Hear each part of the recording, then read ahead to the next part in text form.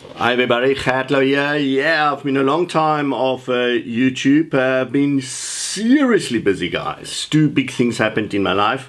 Number one, I started with my top tier coaching, which means I've basically given guys an open book to video calls, my WhatsApp, support structure, one on one.